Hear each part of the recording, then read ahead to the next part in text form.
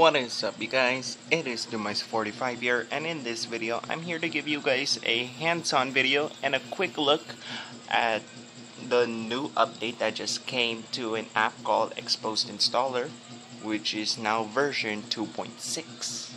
Now if you don't know what Xposed Installer is, it's basically a framework where you can install basic modules to customize the experience that you have on your Android device piece by piece.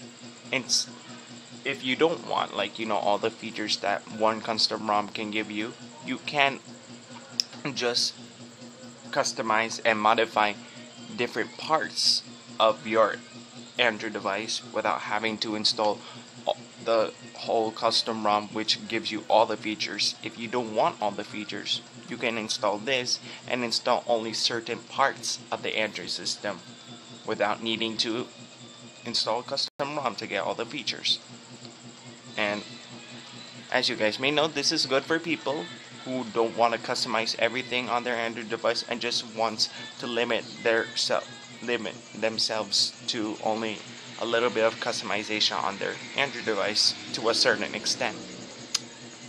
And I do also need to warn you guys that this app is only available this app will only work if you have root access. If you don't know how to root your Android device just search on Google and type in how to root space the name of your Android device and you're bound to find a uh, guide that can help you out with your specific Android device and once you do that and you want to get this app, I left a link to it in the video description below to the APK file that you can install.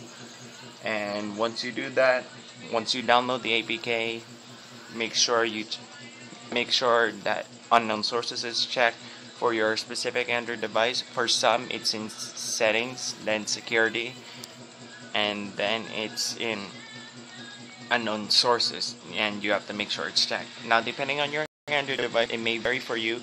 So if you want to if you want to make sure that unknown sources is checked for your specific Android device just search on Google and you'll find a way. Then you can install the APK you will get this app and the first time you open it it will tell you that your framework is not updated and you need to update it right away. To do that go into framework then tap install slash update and then this will pop up. Just tap OK and it will reboot your Android device. And once it does you will be back at your lock screen. You can go and unlock it go back into the app and from here you can download different modules which are things that basically add to the functionality and the customization of your Android device which are focused on different parts of the Android system to customize your experience. And if you want to get more what you call modules, you can tap the download section and you can just basically scroll up and down to find a module that you want to get. Now, what's new in this update is a few things. One, there are performance tweaks uh, here and there, there are bug fixes, all that stuff, and basically fixes a lot of things behind the hood and it basically just uh basically just uh okay according to the update here it's a fresh new UI as you can see that there's a new logo here which is made by DD Ripper. I, I, I kinda like it. It's kinda cute. Not really cute I mean it's okay.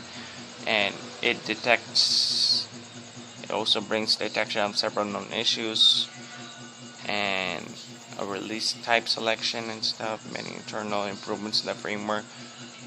And there's better compatibility and performance, and overall, there's more a uh, there's more um, compatibility and performance in the framework itself. And a few noticeable changes is one, everything is white now instead of black. And you can change that if you go into the settings of this. You can change that if you go into settings you can edit the theme here change it to light dark darker black. But black according to the framework is only should be used only for AMOLED screens. So if your phone doesn't have or if your smartphone or tablet running Android doesn't have an AMOLED screen, then that might be mostly useless.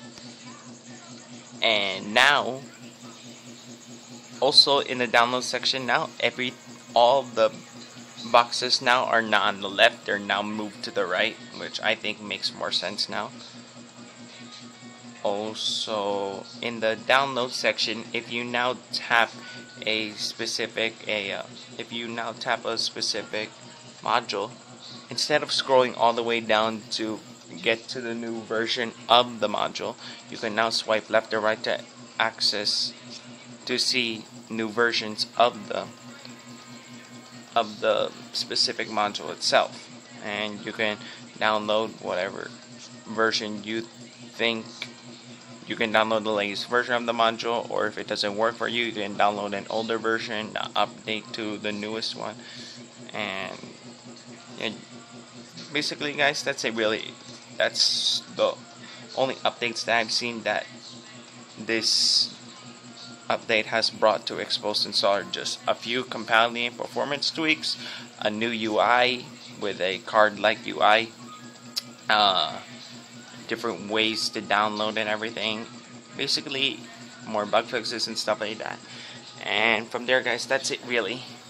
That's my uh, hands-on video, and that's my quick look at the Xposed framework update, which is now version 2.6.